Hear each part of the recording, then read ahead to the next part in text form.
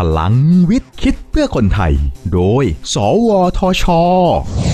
ตอนการแข่งขันพัฒนาโปรแกรมคอมพิวเตอร์แห่งประเทศไทย การผลิตบุคลากรที่มีความสามารถในการพัฒนาโปรแกรมคอมพิวเตอร์ ถือเป็นภารกิจที่สำคัญอย่างยิ่งเพื่อเพิ่มศักยภาพในการแข่งขันให้กับประเทศนะครับ สวทช ได้สร้างเวทีที่เปิดโอกาสให้เยาวชน ได้พัฒนาทักษะการเขียนซอฟต์แวร์ในด้านต่างๆ ตั้งแต่ปี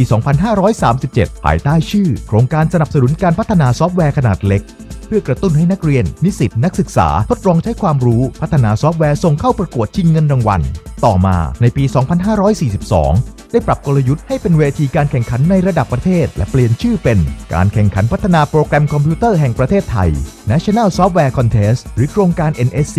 ซึ่งผู้ชนะในแต่ละประเภทจะได้รับถ้วยพระราชทาน จากสมเด็จพระเทพรัตนราชสุดา สยามบรมราชกุมารี และเป็นตัวแทนประเทศไทยไปแข่งขันในเวทีระดับนานาชาติ ซึ่งที่ผ่านมา มีการสนับสนุนโครงการไปแล้วทั้งสิ้น 9,199 โครงการ จากข้อเสนอโครงการทั้งสิ้น 18,588 โครงการสำหรับผู้ที่สนใจเข้าร่วมประลองฝีมือ ติดตามรายละเอียดได้ที่ nectech.or.th/nsc โครงการส่งเสริมศักยภาพเยาวชนทางวิทยาศาสตร์ และเทคโนโลยี โดย nectech สวทช พัฒนาคนด้วยวิทยาศาสตร์ พัฒนาชาติด้วยเทคโนโลยี สอบถามรายละเอียดเพิ่มเติมได้ที่ สวทช 02 564 8000